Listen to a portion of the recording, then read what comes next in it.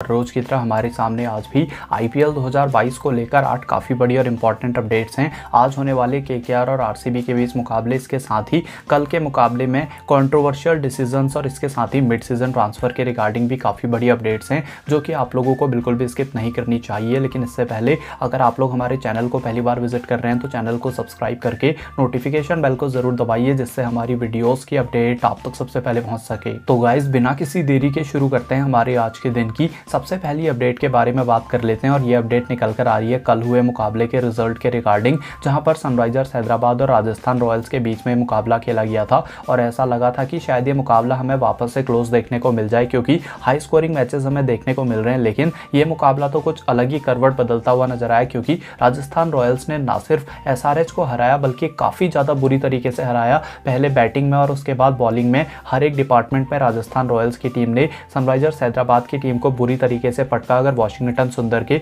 Knock को आप लोग हटा दो तो एस की बैटिंग में भी कुछ नहीं था। और ऐसे में आर की टीम अब पॉइंट्स टेबल में आ चुकी है नंबर वन पर। वही सनराइजर्स हैदराबाद की टीम पॉइंट्स टेबल में जा चुकी है नंबर टेन पर। और ये सिचुएशन है जब सभी आईपीएल टीमों ने एक एक मुकाबला खेला है तो ये तो काफ़ी ज़्यादा एक्साइटिंग रहा है अभी तक जितने भी हमें मुकाबले देखने को मिले। और अब इसके बाद जैसे जैसे मैचेस होंगे, वैसे वैसे और भी ज़्यादा एक्साइटमेंट रहेगी। आगे बढ़ते हैं गाइज़ और बात करते हैं हमारे आज के दिन की दूसरी बड़ी अपडेट जो कि निकल कर आ रही है। आज होने वाले मुकाबले यानी कि कोलकाता नाइट राइडर्स और आरसीबी के बीच में आज हमें मुकाबला देखने को मिलेगा, जहाँ एक तरफ़ आरसीबी की टीम अपने पहले मुकाबले में हार कर आ रही है। हालाँकि बैटिंग काफ़ी अच्छी थी, लेकिन बॉलिंग की वजह से मुकाबला हार गए थे और शायद फील्डिंग की वजह से भी। वहीं दूसरी तरफ़ कोलकाता नाइट राइडर्स की बात की जाए तो ये टीम पहले मुकाबले में सी जैसी टीम को हरा कर आ रही है तो कॉन्फिडेंस इनका क्लाउड नाइन पर होगा और ऐसे में के की टीम भी काफ़ी ज़्यादा स्ट्रॉन्ग इस बार नज़र आ रही है। अगर प्लेयर्स की बात की जाए तो ज़्यादा चेंजेस हमें देखने को नहीं मिलने वाले, क्योंकि इनके पहले मुकाबले में जो अनअवेलेबल प्लेयर्स थे सिमिलरली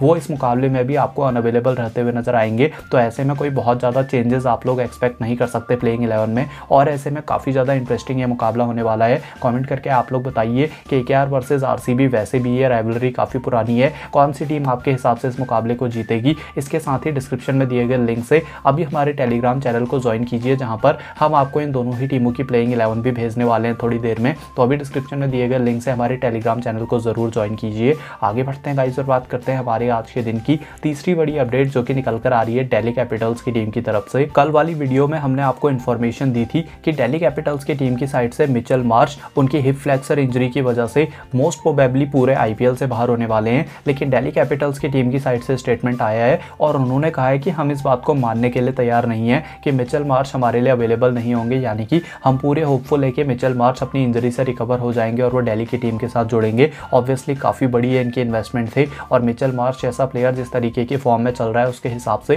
डेली कैपिटल्स की टीम के लिए उनका जो परफॉर्मेंस है वो काफ़ी ज़्यादा मैटर भी करता है उनके कॉस्ट के हिसाब से। ऐसे में डीसी की टीम की साइड से यही साइन है कि रिप्लेसमेंट को लेकर उनका कोई भी मूड नहीं है फ़िलहाल, क्योंकि अगर एक बार रिप्लेसमेंट होगी तो आप वापस से रिप्लेस नहीं कर पाओगे। तो वो वेट करना चाहते हैं मिचल मार्च की अवेलेबिलिटी के रिगार्डिंग आगे बढ़ते हैं गाइज़ और बात करते हैं हमारे आज के दिन की। चौथी बड़ी अपडेट जो कि निकल कर आ रही है कल हुए मुकाबले में, एक कॉन्ट्रोवर्शियल डिसीज़न के रिगार्डिंग जो कि काफ़ी ज़्यादा वायरल हो रहा है सोशल मीडिया के ऊपर। अगर आप लोगों ने मुकाबला लाइव देखा हो तो वहाँ पर जब केन विलियमसन बल्लेबाजी कर रहे थे और जिस बॉल पर वो आउट हुए, वहाँ पर ऐसा लगा कि पार्टिकल ने जो कैच को पकड़ा, उस पर जो बॉल थी वो उनके हाथ से निकल गई थी और वो ग्राउंड पर टच हो रही थी। लेकिन अंपायर ने जो डिसीज़न सुनाया, वो इसके बिल्कुल ही उल्टा था। अंपायर ने ये डिसीज़न बताया कि बॉल उनके हाथ में थी और उनके हाथ के ऊपर ही ये बॉल जंप हुई है। तो इसकी वजह से उन्होंने कहा कि उनकी फिंगर अंडर द बॉल थी और इसकी वजह से देवदत्त पार्टिकल के इस कैच को क्लीन करार दिया गया और विलियमसन आउट हो गए। लेकिन एस के फैंस का मानना है कि ये साफ़ साफ़ कैमरे के ऊपर दिख रहा था कि बॉल ग्राउंड को टच कर रही थी और उस टाइम पर अगर विलियमसन का विकेट ना जाता तो शायद एस की टीम ज़्यादा बेटर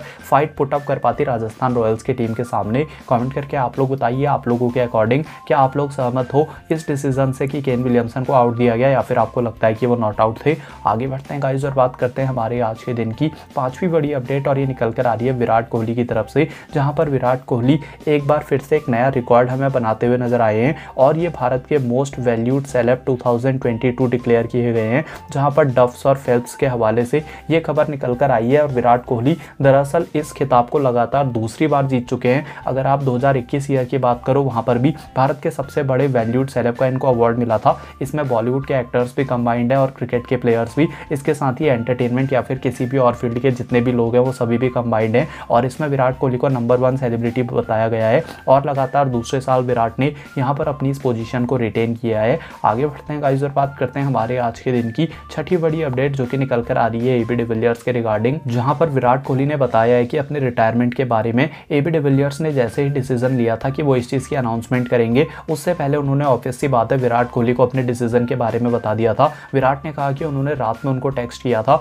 और उन्होंने उस टेक्स्ट में लिखा था कि अब उनके अंदर वो जो फायर है, वो उतनी ज़्यादा नहीं चल रही है क्रिकेट को लेकर और उनको लगता है कि उनका टाइम जो है क्रिकेट के फ़ील्ड पर वो कंप्लीट हो गया है। और विराट कोहली ने जब ये सुना तो विराट कोहली उस चीज़ को बिलीव नहीं कर पाए क्योंकि उन्होंने कहा ए बी डिविलियर्स के साथ इतने सालों से उन्होंने क्रिकेट खेली है। ऑन द फ़ील्ड तो अलग बात है, लेकिन off the field A B de Villiers और उनके बीच में काफ़ी अच्छा बॉन्ड है। एक दूसरे को भाई कंसिडर करते हैं, और ऐसे में विराट कोहली ने कहा कि उनकी ज़िंदगी के अप्स और डाउन्स में ए बी डिविलियर्स एक ऐसे इंसान रहे हैं, जो कि हमेशा उनके साथ थे। उन्होंने उनको काफ़ी क्लोजली देखा है तो ऐसे में ये इमेजिन कर पाना कि ए बी डिविलियर्स के साथ अब वो आगे नहीं खेल पाएँगे। इससे वो काफ़ी ज़्यादा स्टर्न रह गए थे, और ऐसे में विराट कोहली अब उस चीज़ को रिकॉल कर रहे हैं, क्योंकि उस टाइम पर उन्होंने ये बात पब्लिकली नहीं बोली थी। आगे बढ़ते हैं गाइज़ और बात करते हैं हमारे आज के दिन की। सातवीं बड़ी अपडेट जो कि निकल कर आ रही है आज होने वाली रॉयल चैलेंजर्स बेंगलोर की टीम के मुकाबले के रिगार्डिंग जहाँ पर एक अपडेट है। और ये अपडेट है आरसीबी के टीम सिलेक्शन के रिगार्डिंग जहाँ पर कुछ घंटे पहले ही अपडेट निकल कर आई है कि आरसीबी की टीम कंसिडर कर रही है सुयस प्रभु देसाई को अपनी टीम में प्लेइंग इलेवन में खिलाने को लेकर। दरअसल अगर आपको याद हो तो आरसीबी की टीम में लास्ट ईयर भी सुयस प्रभु देसाई मौजूद थे। हालाँकि उनको प्लेइंग इलेवन में जगह नहीं मिल पाई थी, लेकिन इस बार ऐसा बताया जा रहा है कि आकाशदीप के बदले ये अब आपको इनकी प्लेइंग इलेवन का इस मुकाबले में हिस्सा बनते हुए नज़र आ सकते हैं, जो कि एक प्रॉपर बैट्समैन है। और ऐसे में आरसीबी की टीम की बैटिंग टेस्ट हुई नहीं है। अगर आपको पहला मुकाबला याद हो बैटिंग तो काफ़ी इनकी कमाल की रही थी, लेकिन ऐसे में जब आपकी ओपनिंग डिलीवर नहीं कर पाएगी, जब टॉप ऑर्डर डिलीवर नहीं कर पाएगा, उस केस में आपको अपनी बैटिंग को और भी स्ट्रॉन्ग करना है। और बहुत सारे आरसीबी के फैंस का ये भी ओपिनियन था कि आरसीबी की टीम की जो बैटिंग है, वो उतनी ज़्यादा स्ट्रॉन्ग नज़र नहीं आ रही है। बॉलिंग तो आपकी तब भी अच्छी हो जाएगी जब हेजलवुड आ जाएँगे। तो ऐसे में बैटिंग को और डीप करने के लिए। सुयस प्रभु देसाई आज के मुकाबले में डेब्यू करते हुए दिख सकते हैं। आगे बढ़ते हैं गाइज़ और बात करते हैं हमारे आज के दिन की आठवीं और आखिरी अपडेट जो कि निकल कर आ रही है मिड सीज़न ट्रांसफ़र विंडो के रिगार्डिंग जहाँ पर आप लोग जानते हैं कि हर साल आईपीएल में हमें मिड सीज़न ट्रांसफ़र विंडो देखने को मिलती है, जिसके तहत कुछ प्लेयर्स हमें ट्रेड होते हुए देखने को मिलते हैं, एक टीम से दूसरी टीम में। हालाँकि लास्ट के एक दो साल में इस चीज़ को ज़्यादा ध्यान नहीं दिया जा रहा है टीम्स के द्वारा कि एक टीम से प्लेयर दूसरी टीम में आईपीएल के बीस सीज़न नहीं चला जाए। लेकिन इस बार भी मिड सीज़न ट्रांसफ़र विंडो आपको देखने को मिलने वाली है। हालाँकि बीसीसीआई की साइड से अभी तक इस चीज़ की अनाउंसमेंट नहीं हुई है और आप में से जो भी लोग मिड सीज़न ट्रांसफ़र विंडो का इंतज़ार कर रहे हैं, हम आपको बता दें कि मिड सीज़न ट्रांसफ़र विंडो अभी इतनी जल्दी अनाउंस नहीं होगी जब हर एक टीम अपने पाँच या फिर छः मुकाबले खेल लेगी तो उस टाइम पर बीसीसीआई इस चीज़ को अनाउंस करेगी, जिसके बाद आपको इसकी अनाउंसमेंट होते हुए देखने को मिल जाएगी। तो गाइज़ ये वीडियो इन तक थी। अगर आपको वीडियो पसंद आई हो तो उसको ज़रूर कीजिए लाइक और चैनल को सब्सक्राइब तो मैं मिलता हूँ आप लोगों से अपनी अगली वीडियो में। तब तक के लिए बाय बाय